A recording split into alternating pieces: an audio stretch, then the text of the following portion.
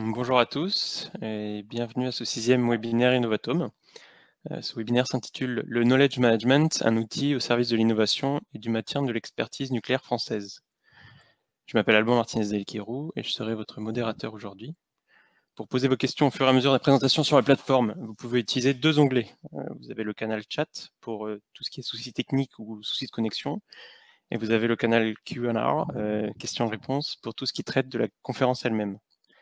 Aujourd'hui, j'ai le plaisir de vous présenter Martin Rouleau-Dugage, qui est expert senior et directeur de la gestion des connaissances et des talents techniques au sein de l'équipe de Knowledge Management chez Framatome, ainsi que Vincent Minier, qui est Chief Digital Officer au, à l'INSTN, euh, organisme euh, institut rattaché au CEA.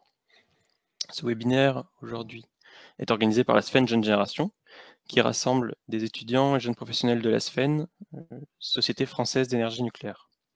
La SFNJG a plusieurs activités au niveau régional, national et international, et ces webinaires Innovatome ont pour but de faire connaître aux étudiants et aux jeunes professionnels les activités d'innovation des acteurs de la filière nucléaire française. Ils visent également à permettre aux étudiants et jeunes professionnels de rencontrer des hommes et des femmes passionnés par leur métier. Pour en savoir plus, vous pouvez nous retrouver sur les réseaux sociaux. Pour ma part, je suis impliqué dans la SFEN Jeune Génération à travers l'organisation et l'animation de ces webinaires, et je suis par ailleurs ingénieur d'études en accident grave chez Framatome euh, sur les nouveaux réacteurs nucléaires, les EPR.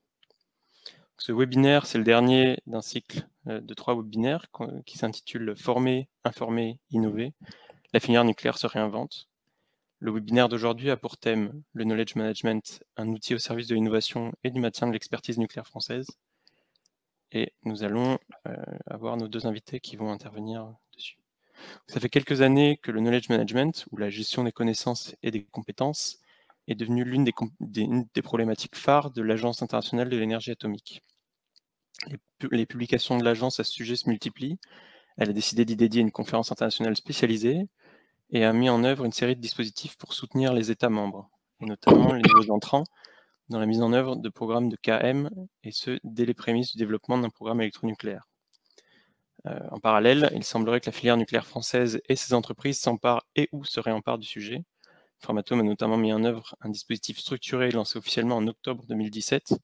La direction des énergies du CEA a fait de même en mettant en œuvre pour sa part un dispositif suite à l'arrêt du programme Astrid elle développe actuellement le knowledge management comme un outil au service de l'innovation.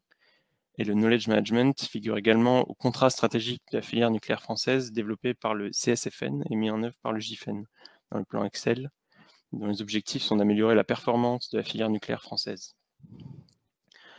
Euh, aujourd'hui, le, webinaire vise à répondre à deux interrogations. La première étant euh, savoir en quoi et comment le knowledge management peut répondre aux problématiques de la pérennisation des savoirs et des savoir-faire, d'accélération de la capacité d'apprentissage des nouveaux arrivants et euh, de mémoire des décisions passées et de consolidation du retour d'expérience.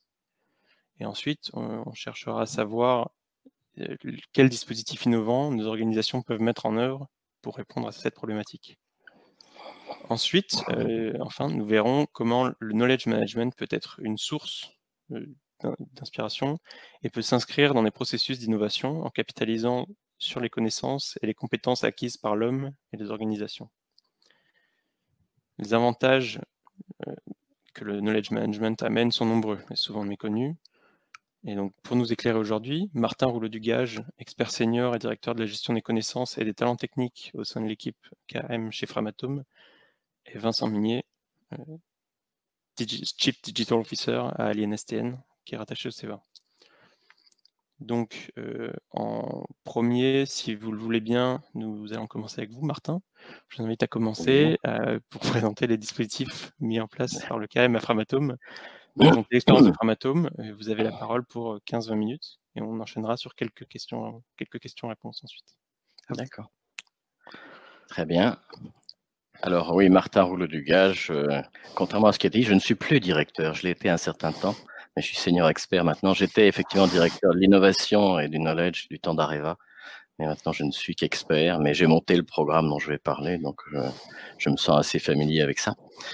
Voilà, euh, c'est intéressant d'ailleurs d'associer le knowledge management à l'innovation parce que effectivement, quand on veut innover, ben, on a des entrepreneurs d'un côté et il faut les, entourer d'experts, sinon ils, font des bêtises.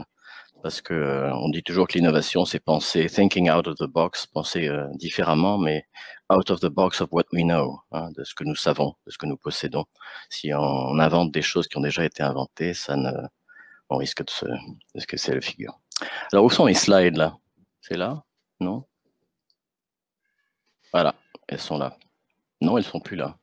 Elles étaient là. Oui, c'est bon. J'espère que vous les voyez. Euh, donc, euh, je vais vous présenter le programme de management de Framatome qui a été monté, dans, comme, il, comme il a été dit, en 2017, fin 2017. Il a été préparé au cours de l'année 2017 et lancé officiellement en octobre 2017. Donc, c'est un programme qui est un des cinq grands programmes d'amélioration du fonctionnement de Framatome. Alors, qu'est-ce qu'on appelle knowledge management? C'est quelque chose qui est un petit peu euh, fausse, un peu évanescent. En fait, c'est de façon assez simple, c'est transformer la connaissance que les personnes ont acquise au cours de leur expérience sur le terrain en savoir d'entreprise, en savoir qui est réutilisable, en savoir que l'entreprise possède. Donc c'est quelque chose qui passe finalement de, ce que j'ai dans ma tête à, quelque chose qu'un collectif possède et qui est un actif de l'entreprise sur lequel on peut bâtir euh, l'avenir. Alors pourquoi est-ce qu'on a fait ce programme chez Famatom? Il y avait deux raisons à cela. La première, c'était effectivement les EPR, c'est-à-dire le fait que Taishan, euh, OL3, euh, Flamanville et HPC sont des projets qui s'enquillent les uns derrière les autres, et il serait quand même relativement malin de pouvoir euh, bénéficier des retours d'expérience des premiers projets vers les autres. Donc, il était question de dire, finalement ce que nous avons appris sur le PR, c'est une mine d'or, il faut savoir la réutiliser. Et donc, c'est un, des premiers, un des premiers leviers de mise en place de ce, programme de management. Le deuxième levier est plutôt interne, c'est les effectifs. C'est de se rendre compte que euh, par le passé, on faisait toute sa carrière chez Framatome et on était, on gravissait tous les étages et on devenait expert en même temps que manager. Aujourd'hui, le, contexte social a beaucoup changé. Il y a beaucoup d'experts qui s'en vont, beaucoup de jeunes qui arrivent. On recrute 1000 personnes par an. Et donc, comment fait-on pour que euh, les, les gens qui arrivent euh, rentrent en compétence, deviennent compétents le plus rapidement possible? Et enfin, il y a cette idée que, euh, bah, que pas tout à fait les mêmes personnes, c'est-à-dire qu'ils n'apprennent pas tout à fait de la même façon. Ce sont des, des, digital natives, comme on dit, qui connaissent la collaboration, qui connaissent les outils de, de travail euh, numériques. Et donc, le, savoir doit passer par ces, outils et par ces plateformes.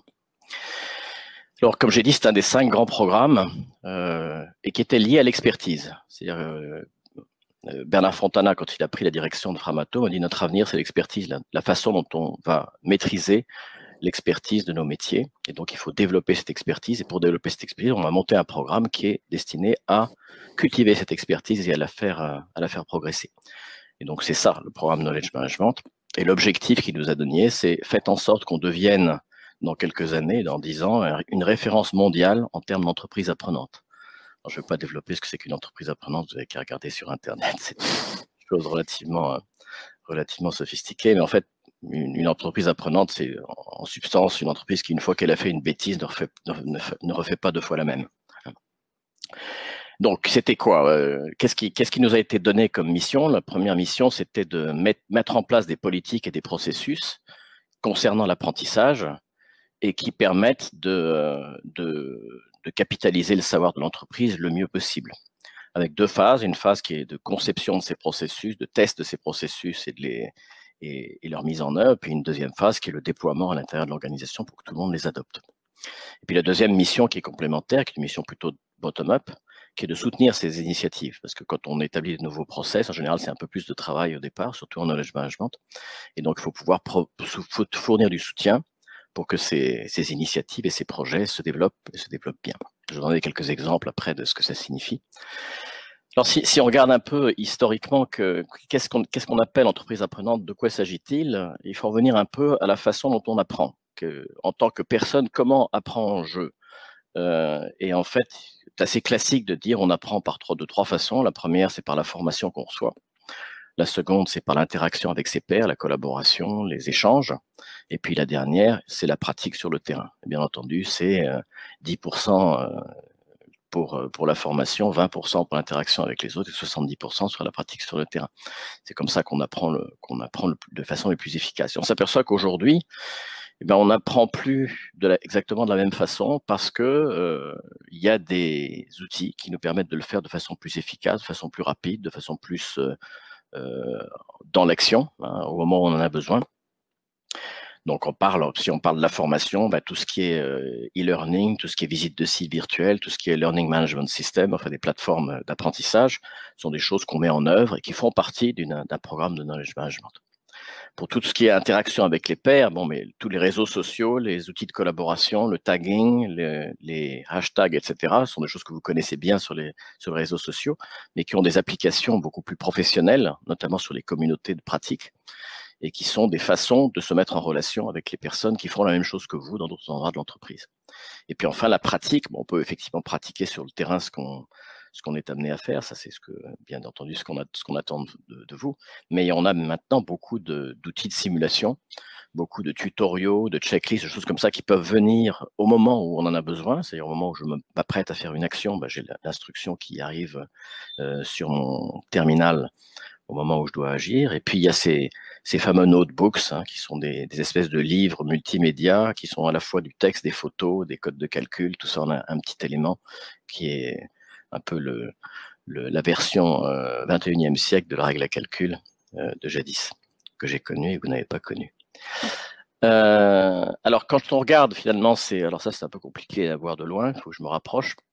je reprends ces éléments de, formation. On s'aperçoit que au départ, par le passé, quand c'était vraiment une, une activité de, formation sans technologie, ben, on apprenait au travers de l'apprentissage, on apprenait au travers du mentorat, du coaching, de la supervision des projets que je faisais par les experts. Et les, objets de connaissance au sens euh, euh, explicite qui étaient associés, c'était des articles, des études, des méthodes, des instructions, des cours, des présentations, des choses qui sont relativement euh, classiques et auxquelles on a rajouté récemment tous les modules et les modules e-learning qui sont plutôt de la vidéo, les tutoriaux en ligne que vous trouvez sur YouTube et qu'on retrouve en interne maintenant chez, chez Framato.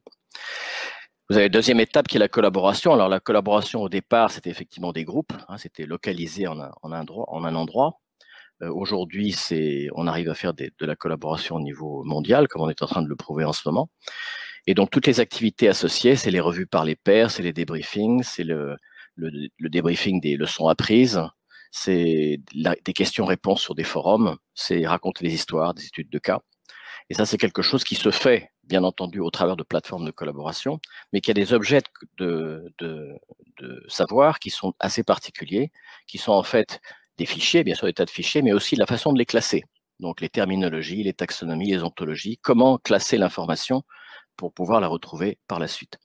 Et donc toutes les bases de connaissances sont liées à ces activités collaboratives quand vous avez une communauté qui fonctionne bien, en général, elle est organisée autour d'un objet qui est en fait une base de connaissances que tout le monde partage.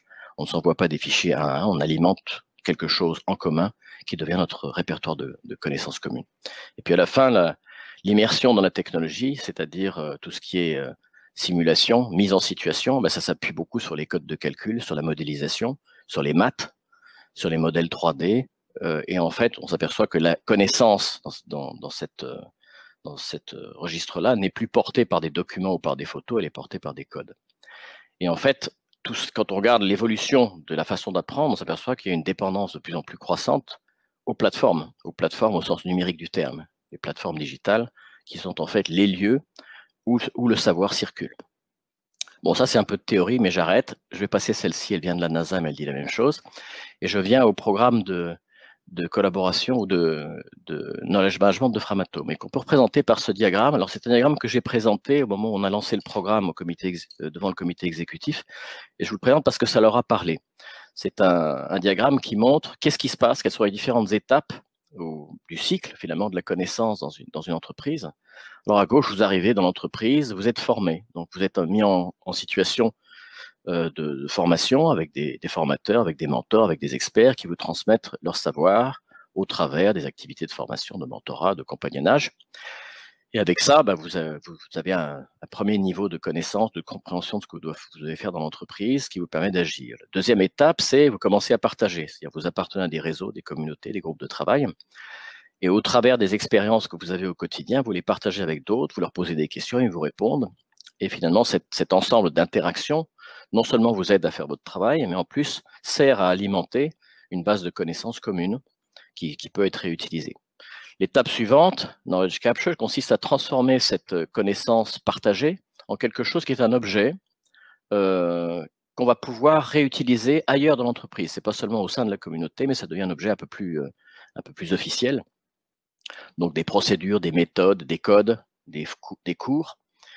Et donc, euh, une fois qu'on a bien compris quelque chose, on est capable de le transformer en objet comme ça. On dit euh, que ce que je ne suis pas capable d'enseigner, je suis capable de le raconter, mais ce que je suis capable de, ce que j'ai bien, je n'ai compris véritablement quelque chose que lorsque je suis capable de l'enseigner. Et si je suis capable de l'enseigner, c'est que je peux établir une procédure, une méthode, un, cours que, je peux produire et qui pourra, qui sera réutilisé par d'autres.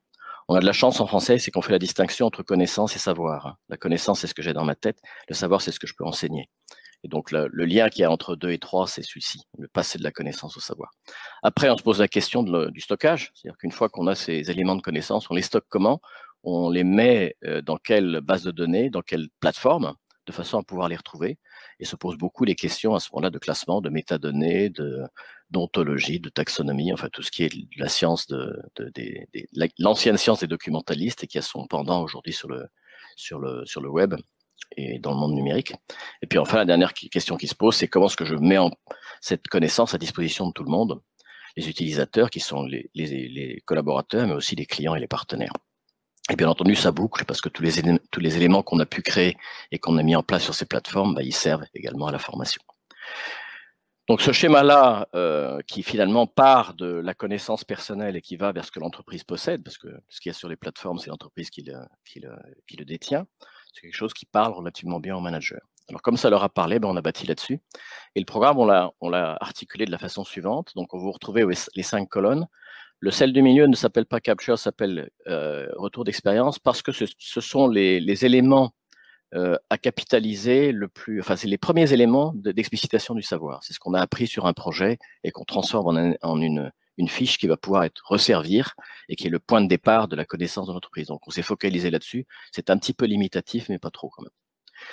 Donc, première étape dans le transfert, ensuite collaboration, lessons learned, euh, storage. Tous les, tous transparents sont en anglais parce que finalement, on travaille en anglais. J'espère que ça vous dérange pas. Mais euh, peut le traduire. Si vous voulez, j'ai quelques extraits en français. Euh, stockage, puis la distribution. Alors, je vais passer en revue les, trois initiatives que nous avons choisies pour chacun de ces grands thèmes et qui correspondaient à des priorités de Framatome. Dans d'autres entreprises, ça pourrait être un petit peu différent, mais pas trop. Knowledge transfer. Alors, le transfert de connaissances, on se dit quelle est la première priorité? Mais la première priorité, c'est que les gens qui quittent l'entreprise, et en particulier les anciens experts, les experts qui partent en retraite, euh, est un programme de transfert de connaissances bien avant qu'ils ne partent. Donc ça a été la mise en place d'un processus formel de transfert des connaissances des experts qui s'en vont, ce qui signifie que quand ils ont 60 ans en France, on leur dit ben, vous avez un, facilitateur qui va vous aider à, à bâtir un programme de transfert de connaissances. Ce programme va être présenté à votre management qui va l'accepter ou ne pas l'accepter ou le modifier. Et une fois que ce sera validé, ben, ça devient un projet sur lequel vous avez des, des, des incentives et votre manager aussi. Donc, premier programme, transfert de connaissances. Second programme, euh, mise en place de, de la, des services de e-learning, enfin de, développement des modules e-learning. Faire beaucoup de, modules vidéo qui substituent en quelque sorte, qui complètent, parce que c'est pas seulement substituer, c'est aller plus loin, tous les modules de formation par PowerPoint et par, euh, réunion en face à face ou en virtuel.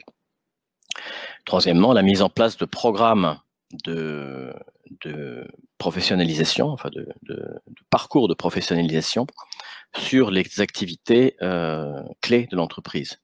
Donc, par exemple, quand vous avez un, métier particulièrement euh, difficile avec beaucoup de rotation, ben, il faut s'arranger pour que euh, le programme de formation à ce métier soit le plus rapide et le plus dense possible, et de façon à ce que ce soit plus efficace que du compagnonnage ou du, ou du mentorat à répétition. Euh, collaboration, qui est le deuxième grand pilier, c'est le développement volontaire de toutes les communautés de pratique à l'intérieur de l'entreprise. Donc, une communauté de pratique, c'est un ensemble de personnes qui font à peu près la même chose et qui, au travers dans différentes business units dans différents pays, et qui se réunissent de façon euh, physique ou virtuelle euh, pour partager sur leurs expériences, pour échanger sur des bonnes pratiques et pour finalement faire des recommandations euh, à l'entreprise d'une façon générale sur, bah, par exemple, des programmes de R&D à, faire dans notre domaine. Donc des communautés pratiques, aujourd'hui on en a une vingtaine chez, chez Framatome, on était parti avec cinq quand on a lancé le programme, on est plutôt à 20 aujourd'hui. Le but c'est d'en avoir une trentaine à la fin de l'année, une cinquantaine l'année prochaine, et qui est en fait le, point de départ finalement de la, de la création de connaissances. C'est quand des gens qui font la même chose partagent leur expérience et en déduisent des, des bonnes pratiques à promouvoir. Euh, le deuxième élément qui est un petit peu une version réduite des communautés, c'est de, de s'apercevoir que dans l'entreprise, il y a beaucoup de gens qui sont nommés référents dans un domaine de connaissances. Il y a des gens à qui on dit, bah, à partir de maintenant, quand on aura des questions sur tel sujet, c'est toi, toi qu'on posera la question. Donc, on, on met une étiquette sur euh, monsieur, euh, euh, monsieur corrosion, par exemple. Et donc, à partir de maintenant, que vous avez des problèmes de corrosion, vous vous adressez à un tel ou à une telle. Et en fait, le principe qui est associé derrière, c'est-à-dire, c'est pas suffisant de leur demander de répondre aux questions. Il faut aussi leur demander de bâtir une base de connaissances, de, de capitaliser sur les questions et les réponses qu'on leur, leur pose, de façon à ce que l'ensemble du savoir puisse être transmis à un successeur qui va, qui va faire le même rôle de, de knowledge owner, on appelle ça knowledge owner, euh, à l'avenir. Donc là aussi, c'est la capitalisation, ça revient un peu à, aux communautés, mais en plus petit. Finalement, C3, donc c'est l'intégration des pratiques de knowledge management dans les projets. Et en particulier, c'est l'idée que quand on termine un projet ou une phase de projet, il y a un certain nombre de choses à faire, de nettoyage euh, et de reclassement, de, façon à ce que ce qu'on a pu apprendre sur un projet puisse être réutilisé par un autre projet. Ça consiste essentiellement à terminer tout, toujours une phase par un rapport de fin de phase, qui est un rapport de retour d'expérience, revenir dans tous les livrables qui ont été faits pendant cette phase et sortir ceux qui peuvent être réutilisés et les reclasser de façon différente, de façon à ce qu'ils soient plus faciles à trouver. Donc ça, c'est la partie de collaboration. C1, C2, c'est plutôt dans l'espace, C3, c'est plutôt dans le temps, mais ça reste de la collaboration.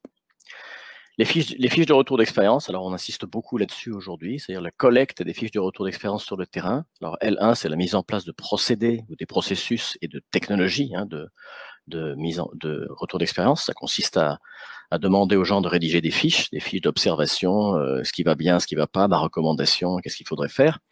Donc c'est une fiche qui, qui, qui, est collectée, qui est, qui est capitalisée avec beaucoup de métadonnées pour pouvoir la retrouver dans différentes circonstances, et qui est généralisée sur l'ensemble de l'entreprise. Et donc quand on veut euh, trouve, développer une nouvelle méthode ou trouver ou lancer un nouveau projet, eh bien on, on va dans toutes les fiches de retour d'expérience correspondant à cette phase de projet, correspondant au système sur lequel je travaille, pour essayer de tirer des leçons de ce qui a été fait par le passé et ne pas recommencer les mêmes erreurs.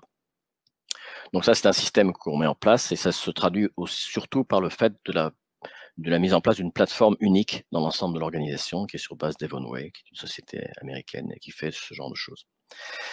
Deuxième idée euh, sur les leçons apprises, c'est qu'une des avant de savoir euh, euh, capitaliser les connaissances, il faut capitaliser les faits. Il faut savoir ce qu'on a fait. Et donc quand on crée, quand on fait une étude, quelle qu'elle soit, une étude technique, il faut qu'on puisse euh, savoir comment cette étude, cette, étude, a été menée cinq ou six ans plus tard. Donc, quelles sont les, les méthodes que j'ai utilisées, quels sont les, les, entrants. Si je n'ai pas appliqué une méthode j'ai appliqué d'autres codes de calcul que ceux qui étaient prévus, je dois savoir lesquels, quand ça a été fait, etc. Donc, c'est un peu l'équivalent du livre de bord pour les, pour les marins ou, ou du livret de paillasse pour les, les chercheurs.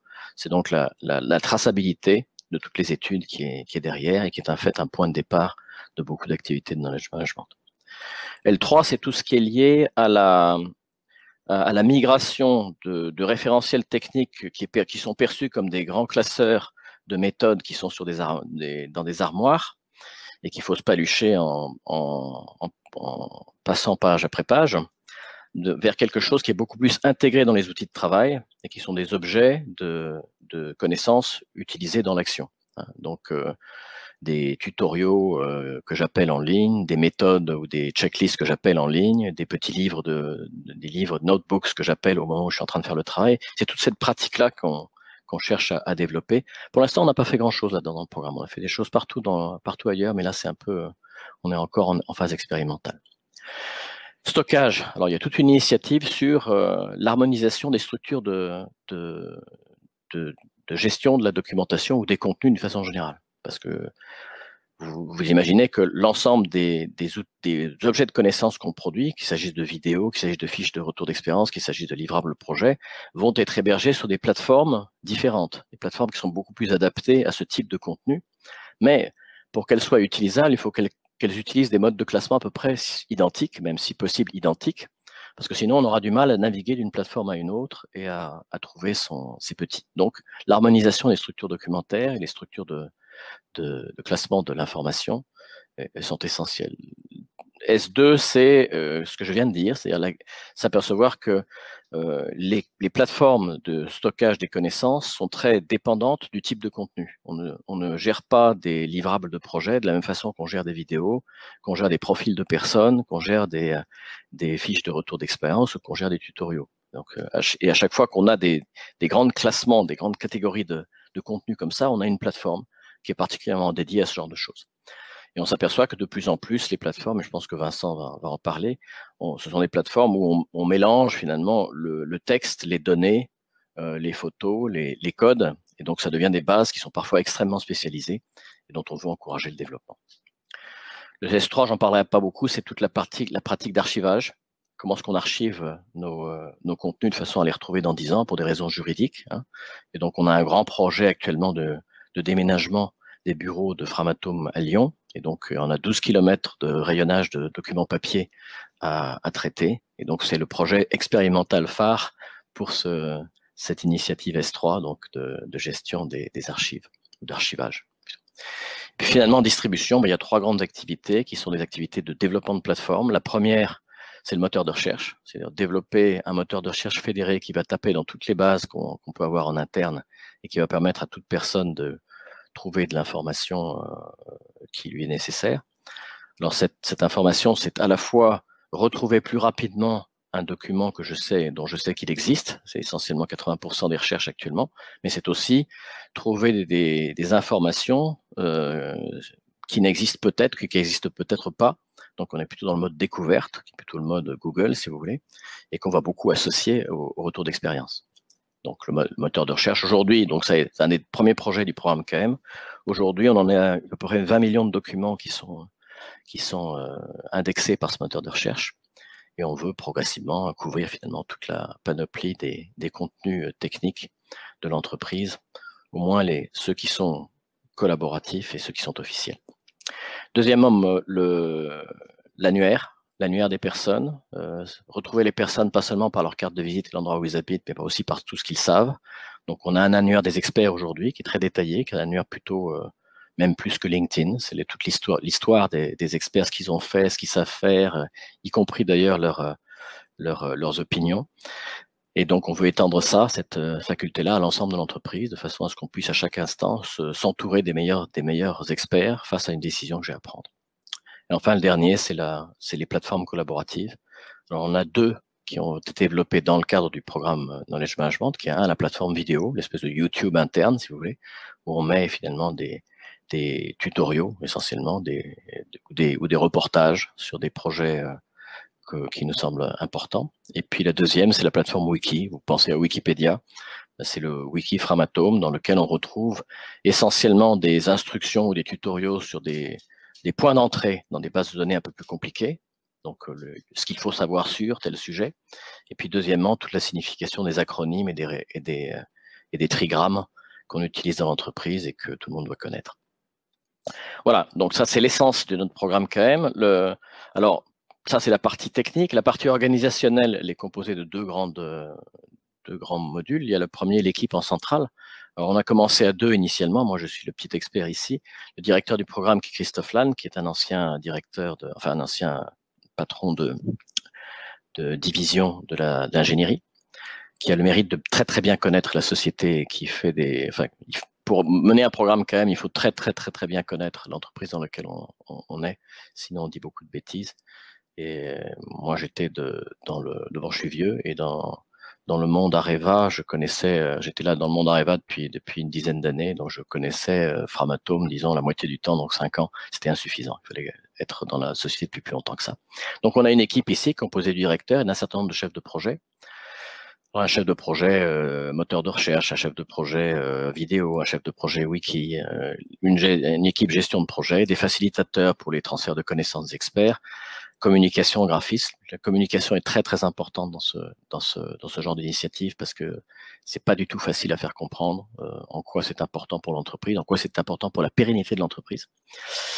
Donc c'est une équipe qui est en centrale et qui a les objectifs que j'évoquais, à savoir un, lancer des, développer des processus et, généraliser des processus, et grand deux, aider les, aider les business units à les mettre en œuvre. Et dans les business units, vous avez un, réseau de délégués, de, correspondants du programme KM, qui ont pour objectif de bien le comprendre, pour bien comprendre ce qu'on essaie de faire, et d'essayer de l'adapter aux priorités et aux exigences des, des, entités dans lesquelles ils se trouvent. Donc, euh, c'est à, double sens. Ils, identifient des bonnes pratiques, ils participent au groupe de travail que nous mettons en œuvre pour euh, les procédés, par exemple, les processus, mais aussi ils, personnalisent le programme KM aux priorités de, leur, de leur entité. Voilà. Alors, je terminerai en disant que il y a, non, j'ai encore deux trois slides, mais c'est presque fini. que ça se, ça se, un programme comme ça se déroule sur plusieurs années. Euh, d'après Bernard Fontana, c'est sur 10 ans, mais le programme, il est sur 4 ans. Euh, il y a un programme, dans, les années 2018, on a essentiellement travaillé sur la promotion des initiatives locales. C'est-à-dire qu'on a, une fois qu'on avait établi cette grille des, des 15 initiatives, on a essayé de trouver des projets dans les activités qui correspondent à ce qu'on voulait faire, on les a aidés, on a aidé à, se développer. D'une certaine façon, le développement des plateformes euh, rentre dans cette logique-là. Donc c'est une phase assez projet. La deuxième phase, qui est celle qu'on a commencé l'année dernière, qu'on continue cette année et qu'on va continuer en début d'année prochaine, est une, est une phase qui est centrée sur les, les, les processus. C'est faire l'inventaire de toutes les pratiques de management à l'intérieur de l'entreprise, proposer des politiques, des processus des outils qui vont permettre de faire mieux, expérimenter ces processus ces outils sur des cas concrets dans les business units, et quand ça marche, formaliser, les formaliser et les officialiser pour qu'ils deviennent une norme, un standard d'entreprise. Et une fois qu'on a fait ça, et ça c'est de la co-construction avec les, business units, ben, il y a une troisième phase qui est une phase de déploiement, euh, au cours de laquelle on mesure finalement le degré avec lequel l'entreprise adopte ses politiques et ses pratiques et les met en œuvre un peu partout.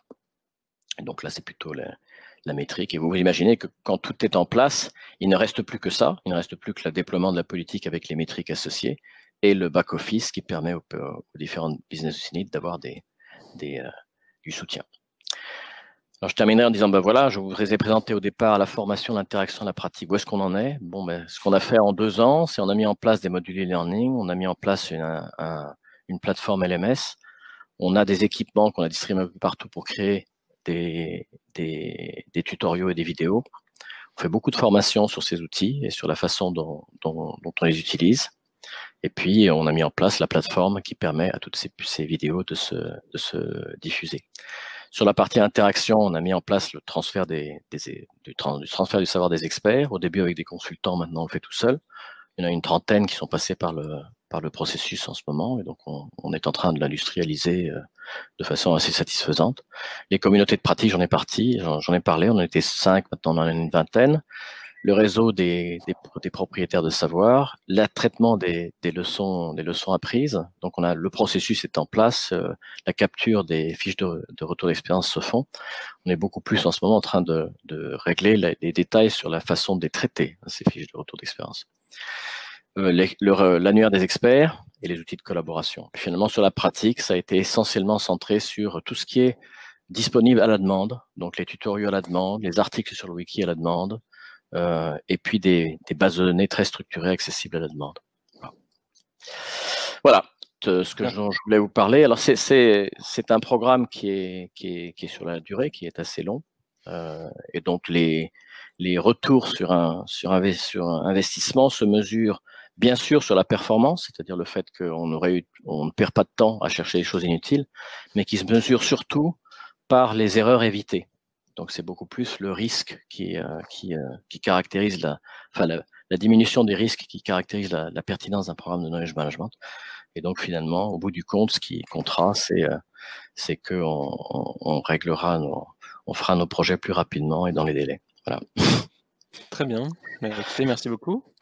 Euh, alors, on avait quelques questions qui ont été posées. Ce que je vous propose, c'est que je vous en pose une, euh, une ou deux, et on prendra vos réponses à la fin, après la présentation de Vincent. Donc, il y en avait deux en particulier qui ont euh, été votées favorablement. C'est, première, c'est concernant l'adhésion des salariés à la mise en place du programme de Knowledge Management. donc, si on peut en parler à la fin de la présentation de Vincent et l'état de l'art ou ce qui a été fait dans d'autres entreprises Est-ce que vous l'avez, vous avez, vous êtes intéressé à ça? Est-ce que vous avez comparé bah, on, sait beaucoup. On euh, après, si possible. On n'a vraiment pas beaucoup de temps, mais enfin, j'en parle juste comme ça pour qu'on, pour qu'on puisse y réfléchir et euh, voir si c'était transposable ou pas à la, à la filière nucléaire. bon, du coup, je vous laisse la parole, Vincent. Merci. Merci, merci Martin. À dans, à dans 15-20 minutes. Tout à fait. Voilà. Euh, voilà, très bien. À vous, Vincent. Merci. Donc oui, Vincent Minier, donc je travaille à, l'INSTN, hein, qui est à la fois un, établissement d'enseignement supérieur et un organisme de formation qui est, qui est administré par, par le CEA. Alors moi, mon propos, euh, il va peut-être euh, être un peu plus théorique, hein, comme ça il sera très complémentaire du cas, très concret présenté par Martin. Et puis je, malheureusement, je ne vais pas parler, Martin, de, des plateformes. Je vais plutôt me concentrer sur un sujet qui est comment la gestion des connaissances, comment les, outils, les diagrammes mobilisés par la gestion des connaissances peuvent être utilisés pour aller comprendre tous les processus euh, d'innovation. Alors mon propos va se restreindre un sujet relativement vaste, mais néanmoins je préfère donner le cadre. Euh, c'est les grands ouvrages industriels, que ce soit les grands systèmes techniques, hein, les grands instruments de recherche également. Donc c'est un propos qui vise uniquement la gestion des connaissances et son application à l'innovation dans, le cadre de, grands ouvrages industriels au sein d'organisations de recherche hein, comme le CEA ou, ou industriels dans la, filière nucléaire. Euh, l'approche ici consiste en fait à investiguer euh, l'innovation à travers euh, les machines. C'est-à-dire ce que j'appelle les machines ici, ça va être des, grands systèmes techniques. Par exemple, un réacteur nucléaire, c'est une machine, un grand système technique. Leur fonctionnement et puis toute la réalité humaine qui est cristallisé à, l'intérieur de leur concrétisation technique. Alors ça veut dire quoi? Ça veut dire qu'on va regarder euh, cet instrument, on va le regarder à travers son fonctionnement. Euh, pour faire juste une, image, une comparaison, on va distinguer par ce fonctionnement euh, les, différentes machines. Un exemple, une, un moteur par exemple électrique ou un moteur thermique sont deux fonctionnement, deux machines complètement distinctes. Donc on ne regarde pas la fonction, j'insiste bien, on va regarder le fonctionnement, parce qu'on pense que c'est par le fonctionnement qu'on va réussir à reconstruire tout le processus d'innovation. Alors, pour, débuter, euh, moi, je, vais aussi avoir ma, petite définition de, la gestion des connaissances. Hein, je vais m'inspirer de, d'articles écrits par un, grand monsieur de la gestion des connaissances qui est Jean-Louis Hermine. Donc, la gestion des connaissances, ou knowledge management en anglais, consiste à organiser le repérage, la préservation, la valorisation et la création des connaissances stratégiques pour l'entreprise. Elle se distingue en deux types de connaissances, hein, des connaissances explicites, des connaissances implicites ou, tacites. Hein. Les connaissances explicites, on va les retrouver dans des publications, dans des mémos, dans des brevets. Tout cela constitue une sorte de syntaxe du savoir, hein, avec des archives qui peuvent être structurées en termes de, bases de données. Et à côté de ça, vous avez les connaissances tacites, ben, ce que, ce que Martin disait tout à l'heure, ce qu'on a dans la tête, euh, c'est-à-dire le savoir vivant de l'expert, de l'ingénieur, du technicien, jusqu'au geste geste technique hein, qui va servir à réaliser certaines, certaines choses. Et là, on va plutôt, grâce à ces connaissances tacites, dans la signification du savoir. Et c'est en fusionnant cette syntaxe et cette signification du savoir, finalement, le côté syntaxique le côté sémantique des connaissances, qu'on arrive réellement à faire une, gestion des, connaissances satisfaisantes. Alors, toujours dans, les définitions en termes de, vocabulaire, j'aimerais bien euh, accorder notre vocabulaire pour que on soit, soit relativement clair dans, ce que je vais utiliser après. Donc moi j'appelle ici donc connaissance un ensemble structuré d'informations liées par contexte, ce modèle cognitif étant généralement tacite et donc lié à une personne ou un groupe, un groupe de personnes. Par connaissance, ce sont donc les savoirs, des savoirs académiques, des savoir-faire, euh, des savoir-être managériaux, par exemple. Et à côté de ça, l'échelle au-dessus, dans cette pyramide de, la gestion des connaissances, la pyramide du KM, il y a les compétences qui sont euh, l'accumulation d'expérience en mettant en pratique individuellement et efficacement les connaissances dans une activité opérationnelle afin d'atteindre les objectifs requis. Donc là, il s'agit en fait de savoir agir, mobilisant les connaissances. Donc il est intéressant aussi de faire un, jeu entre la formation et le knowledge management, puisque le knowledge management peut être compris comme en amont de la formation. Et là, dans la formation, vous avez également toute cette terminologie de, savoir, savoir-faire, savoir-être et savoir-agir. Alors, les, définitions euh, étant, étant faites, euh, pourquoi, euh, pourquoi mobiliser la gestion des connaissances en innovation? En quoi le, KM serait un outil efficace et performant pour décrire le processus d'innovation dans une organisation à travers un certain nombre de systèmes techniques? Alors, trois hypothèses que je, vais faire, que j'emprunte également à toute l'équipe autour de Jean-Louis Hermine, qui sont des, hypothèses assez, assez connues. La première hypothèse, c'est que l'innovation est un processus de création technologique endogène et cumulatif. Ça veut dire qu'il est basé sur l'accumulation de connaissances dans une organisation qui sait ce qu'elle sait et donc continue à, innover. Il y a une sorte donc de design dominant, hein, d'un chemin dominant qui va s'inscrire euh, dans cette définition. L'hypothèse numéro 2, c'est quand une organisation euh, a du mal à trouver des réponses à, certains problèmes, elle va aller emprunter euh, des connaissances, voire les acquérir. Hein. Par exemple, les, géants du numérique qui vont aller acheter des startups pour augmenter leurs connaissances. Et donc, l'acquisition externe de connaissances peut générer de l'innovation. Donc, on a à la fois quelque chose qui est internaliste et quelque chose qui est externaliste. Et donc la troisième hypothèse, hein, c'est donc que dans, ces conditions, le processus de créativité ou d'innovation peut être identifié à un processus d'évolution du patrimoine de connaissances de l'entreprise, ce qui est précisément le propre du KM, qui doit mesurer cette évolution. C'est-à-dire que plus on va accumuler des connaissances, qu'elles soient internes ou qu'elles viennent de l'externe, plus on va innover, plus on va avoir les, possibilités d'innover. Et donc c'est cette évolution de ce domaine de connaissances qui va nous permettre de voir le processus d'innovation. Il va avoir une sorte de parallèle entre les deux.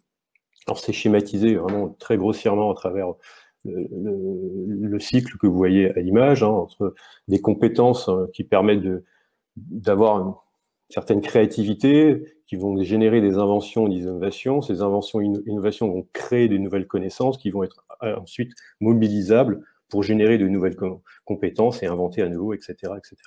Donc il y a une sorte de cycle vertueux qui se met en place à travers ces trois hypothèses.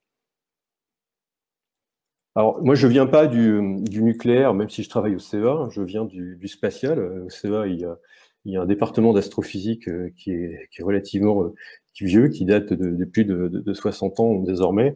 Et j'ai fait, euh, j'ai fait une partie de ma carrière en astrophysique, et en particulier, j'ai travaillé sur un instrument, un satellite d'observation scientifique qui s'appelle l'Observatoire spatial Herschel. Et le travail que, nous avons réalisé avec mon collègue Vincent Bontemps, que vous voyez également à, l'écran sur ce livre, est un travail qui s'est fait sur la gestion des connaissances spatiales. Donc je vais plutôt prendre ceci en, termes d'exemple. Alors pourquoi le, choisir comme, comme exemple euh, sur dans un dans un webinaire qui est plutôt sur le, côté nucléaire, euh, les satellites d'observation scientifique qui sont poussés par l'Agence spatiale européenne ou la NASA sont des projets sur 20 ou 30 ans. Quand on en construit un, c'est un des, des grandes machines de recherche euh, en recherche fondamentale. Quand on en construit un, c'est généralement pour avoir un changement d'échelle extrêmement important. On, ne se contente pas de faire mieux que celui d'avant. Euh, et c'est vraiment des grandes sources d'inventivité.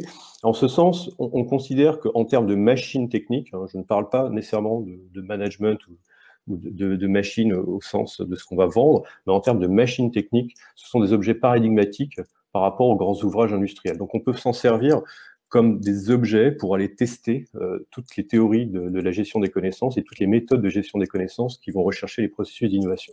Donc c'est ce que nous avons fait.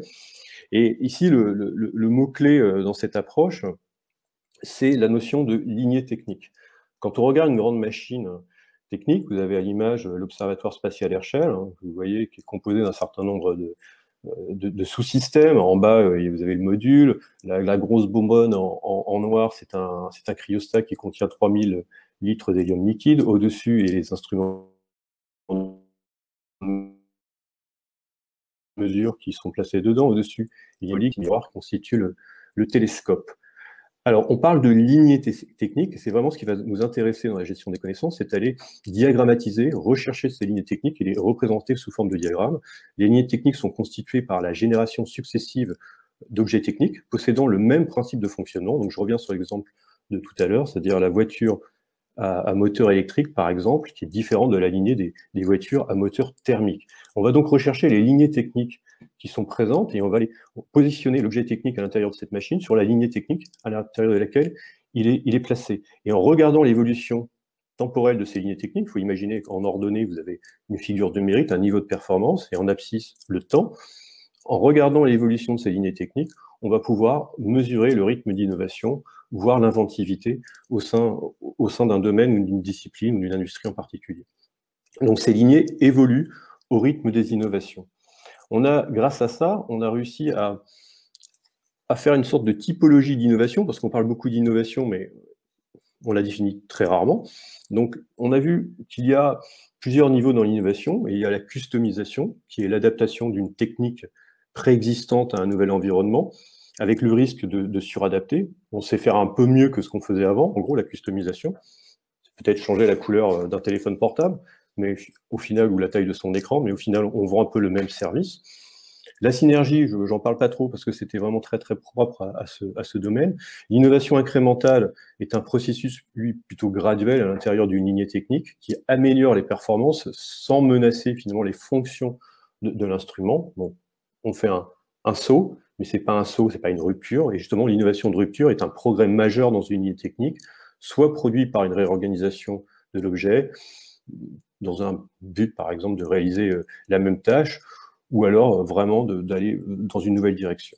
Et puis, ce qu'on appelle l'invention, qui est pour nous une création pure, une, innovation radicale, permet de déterminer, lancer une nouvelle ligne technique. Donc si je reprends l'exemple de ce télescope spatial, le, le, télescope, ce miroir, est littéralement une invention, c'est une innovation radicale, c'est basé sur du carbure de silicium. La problématique, c'était il fallait faire un miroir spatial léger, tout en ayant des propriétés très homogènes de contraction.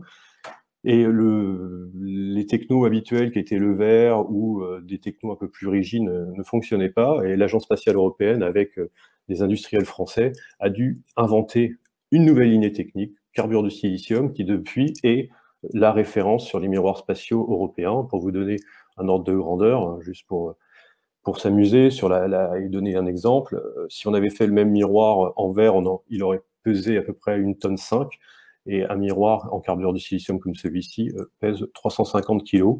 Et c'est très important dans le spatial parce que 1 euh, kg, ça coûte très cher au lancement. Alors, qu'est-ce qu'une lignée technique et, comment est-ce qu'on va chercher finalement ces lignées techniques? Comment on, les diagrammatise? Donc, on fait intervenir ce qu'on appelle les agents, si c'est les experts, les experts d'un projet industriel. On les réunit autour d'une table et après, on peut faire des discussions avec un à un et on essaye avec eux d'aller diagrammatiser leur savoir tacite, de le rendre explicite et qu'ils puissent, eux, se le réapproprier à travers ces diagrammes. À droite, euh, sur l'image, vous avez un exemple de diagramme euh, de, lignée technique. Alors, il est, mis, en, il est mis en image, hein. normalement, c'est un peu plus laid à voir, hein, c'est juste un, graphique. Euh, vous avez une évolution euh, de, ces, de, miroirs, différentes tailles de miroirs, différentes technos, les matériaux qui interviennent. Et ce qui est intéressant quand on, regarde les lignes techniques, hein, ce n'est pas juste une ligne, hein, c'est ni finalement une sorte de généalogie, c'est une sorte de, de, multiples ramifications. Et ce qui va nous intéresser, c'est les points qui vont qui vont séparer deux branches d'une lignée technique, et c'est ces points au niveau de ces points, il se passe quelque chose et ce qui se passe est un facteur très très fort d'innovation. Et comment on va aller le repérer? On ne va pas aller le repérer en, lisant un article scientifique ou un mémo, il n'y aura aucune information là-dedans.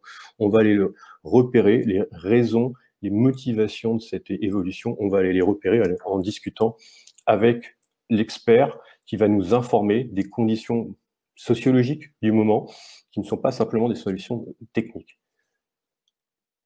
Alors, je, place ce transparent, ce qui est encore un peu plus complexe, on a un autre type euh, de diagramme. Une fois qu'on a, on a compris ce que c'était qu'une une lignée technique, on a réussi à, à, voir où se situait notre objet à un moment de technologie, on peut aussi regarder tout ce qui est la conception innovante c'est un peu, différent.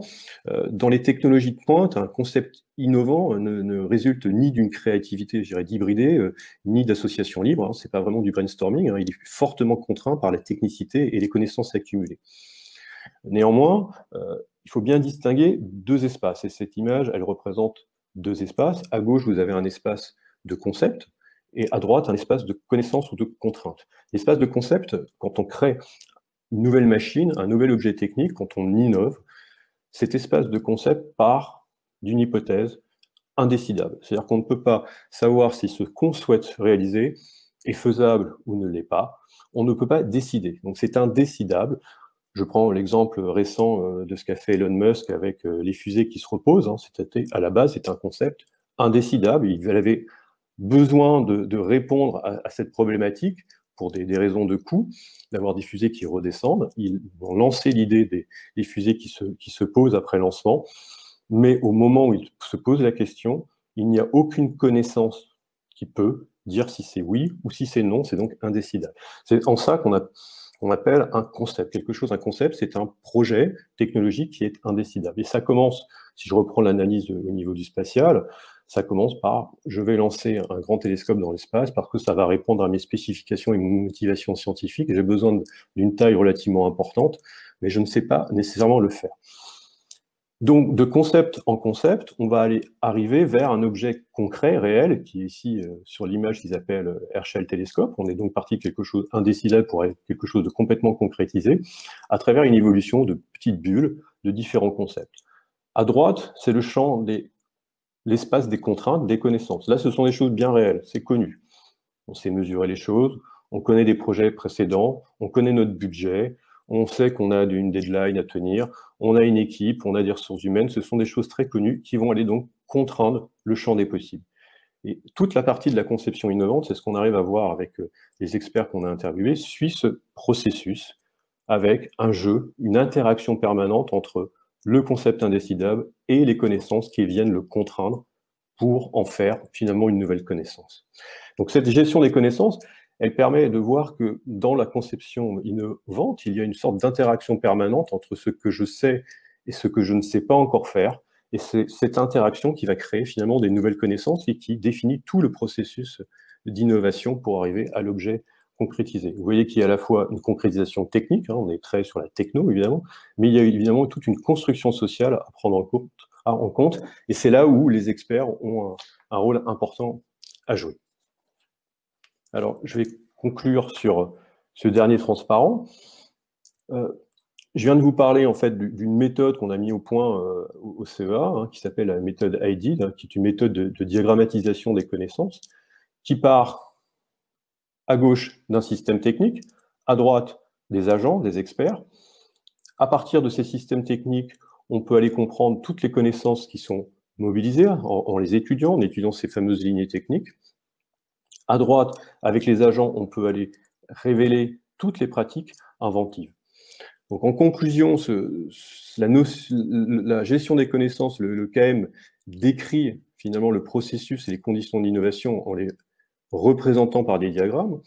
Il révèle les connaissances mobilisées, les pratiques inventives et leur fusion en conception innovante. On a bien les deux aspects, qui l'aspect techno et l'aspect plutôt humain qui viennent, qui viennent se, télescoper.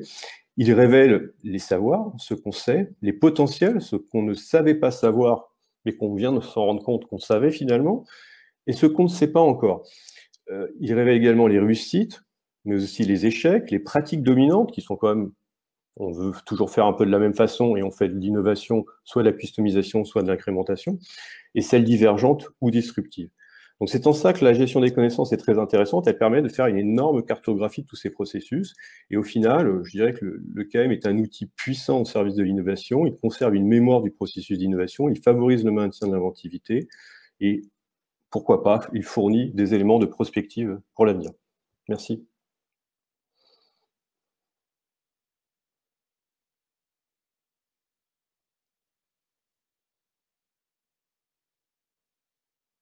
Je t'entends pas, Alban. Là, là est-ce que c'est bon? Là, ça, a l'air d'être bon. Oui, c'est bon. Oui, c'est bon. Merci, désolé. Euh, oui, donc je disais, on a merci, on a réussi à, balayer tous ces sujets en un temps assez contraint. Alors, il y a euh, une question donc quand même qui a, été très votée, c'est l'adhésion euh, qui, questionnait l'adhésion des salariés à la mise en place du programme de knowledge management à Framatome. Et Vincent, si vous voulez bien, après on va on se questionnera sur le, fait, enfin, la transposition possible ou pas des méthodes d'innovation à travers du knowledge management, des technologies spatiales vers la, filière du nucléaire. Si on peut répondre à ça en, quelques minutes, parce qu'il nous en reste six avant qu'on se dise au revoir. Donc voilà, ces deux questions, si on peut les enchaîner, euh, d'abord vous Martin et, ensuite vous Vincent, ce serait formidable. Sur l'adhésion des, salariés. Bah, l'adhésion des salariés sur, le, sur, le, sur les concepts, c'est relativement facile et ils comprennent euh, mmh. comprennent l'intérêt de la chose. Hein. L'adhésion pratique est une autre chose. C'est on, retourne sur une autre question qui a été posée, c'est celle du retour sur investissement. Mmh. C'est-à-dire que si c'était évidemment fait pour gagner du temps, mmh. pour être plus performant, pour aller plus vite, tout le monde serait d'accord. Mais souvent, le, on fait du knowledge management pour éviter des bêtises. Donc, c'est quelque chose qui est un, du travail à faire en plus et qui va peut-être éviter de, de, se retrouver dans une situation pénible dans cinq ans. Et ça, c'est moins facile à quantifier, c'est moins facile à, à, à, associer à des indicateurs de performance sur lesquels on est jugé. Donc voilà, il y a une espèce de, euh, de tension entre le intellectuellement, tout le monde pense que c'est intelligent et qu'il faut le faire, mais lorsqu'on est face aux contraintes quotidiennes, il faut avoir un, un, soutien très fort de la direction générale, sinon on a plusieurs gens à faire. Oui, oui c'est assez logique. Et, Vincent, la transposition spatiale nucléaire, est-ce que c'est, est-ce que vous avez un avis là-dessus, un, retour d'expérience? Alors, euh, moi, je ne l'ai pas fait, je l'ai pas fait pour l'instant, mais elle me paraît assez évidente puisque dans les deux cas, il s'agit de, de, grandes machines, de grands systèmes techniques. Les durées de conception sont assez comparables. Les durées d'exploitation sont, parfois comparables. Hein. Je prends l'exemple du télescope spatial Hubble, ça fait 30 ans qu'il est, qu'il est dans l'espace. Si on prend euh, toute la durée de conception, ça, ça, à peu près, ça commence dans les années 50 Jusqu'à maintenant, ça fait pratiquement 70 ans. Donc on est bien sur des mêmes durées de ce type de projet industriel qui vont donc mobiliser énormément d'équipes avec beaucoup de turnover, avec des gens qui partent à la retraite, des gens qui arrivent, des nouveaux arrivants, beaucoup aussi de, de prestataires, de sous-traitants. On est dans des choses extrêmement comparables avec euh, je dirais, des, des problématiques. Euh, je vois une question sur euh, aussi la, fidéliser les consultants, etc. Il y a des problématiques assez similaires, c'est-à-dire qu'on va avoir différentes types d'intervenants.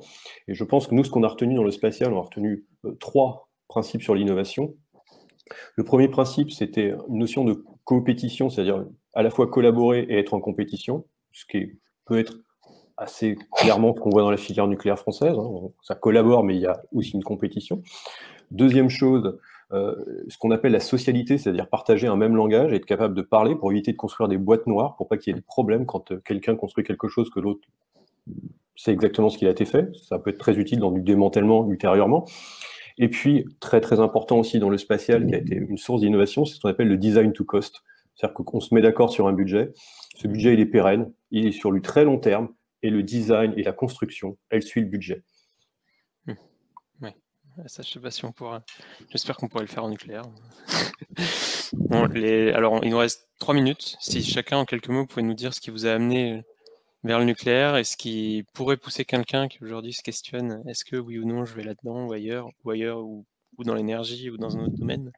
Qu'est-ce qui vous a poussé ici et qu'est-ce qui fait que mes camarades de promo ils devraient changer de métier et revenir ou à Areva ou au CEVA ou, non, au Framatome, au EDF ou euh, une des multiples entreprises de la filière Si en quelques mots vous pouvez répondre à ça? C'est en dehors du KM, ça Ah, mais c'est la question qu'on pose toujours. oui, mais en dehors du KM, moi je, dirais que c'est si on, si on croit véritablement aux enjeux climatiques, si on croit véritablement aux enjeux de réchauffement de la planète, il faut travailler dans le nucléaire. Il faut mettre toutes, les, toutes, ces, toutes ces forces là-dedans euh, parce que c'est euh, c'est une un énorme avantage que nous avons. Donc, euh, ouais, enfin, je pense que c'est essentiellement lié à ça. Si j'étais jeune, je travaillerais dans le nucléaire pour ça. Euh, parce que euh, fondamentalement l'avenir de non pas de la planète parce que la planète peut se passer de nous, mais l'avenir de nous dans la planète dépend de, notre capacité à avoir des énergies puissantes, pilotables et sans carbone. Voilà. Euh, et puis pour faire le, lien avec le knowledge management, c'est quand même une industrie qui est caractérisée par des, la complexité. Enfin, c'est compliqué, une centrale nucléaire. toutes les technologies sont présentes, donc il y a énormément de collaboration entre des métiers très différents. Euh, et enfin, d'une, un cycle de vie qui est très long et qui exige de se souvenir de tout. Donc en termes de, de, de terrain de jeu pour le knowledge management, c'est fabuleux. Très bien. Vincent? Moi, je, je partage également hein, qu'on pense que le nucléaire soit une énergie euh, d'avenir ou, ou, ou, de transition pour la, pour la transition énergétique. C'est, un, c'est une énergie qui est là pour longtemps et qui est vraiment euh, la clé pour lutter contre le réchauffement climatique. Donc je pense que là, il y a une motivation très fortement sociétale. Et à côté de ça, je suis aussi d'accord, bien sûr, avec ce que vient de dire Martin sur la, partie euh, purement techno. Hein. C'est euh, une centrale nucléaire, c'est une fantastique machine avec des, corps de métier euh, à tous les niveaux. qui, qui mérite vraiment qu'on s'y attarde, qu'on rentre dedans, qu'on la documente et qu'on fasse une, vraiment une gestion des connaissances pour, bah pour vous, pour, les, futures, les futures générations et les jeunes générations. très bien. Il est 14h, donc on va, je pense qu'on va se dire au revoir. On aurait, si vous avez, il y, a beaucoup de questions qui sont arrivées, donc beaucoup d'intérêt pour tout ce que vous avez présenté. On peut, y répondre en ligne pendant que. Oui, oui a priori, vous pouvez y répondre par écrit, oui.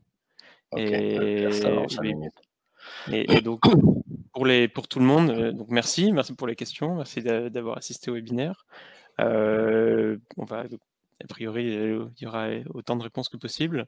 Et on se retrouve en novembre pour le, pour le troisième cycle qui sera euh, qui, qui arrive. On, va communiquer dessus dans les semaines à venir. Merci beaucoup et à, merci. merci. Bientôt. À bientôt.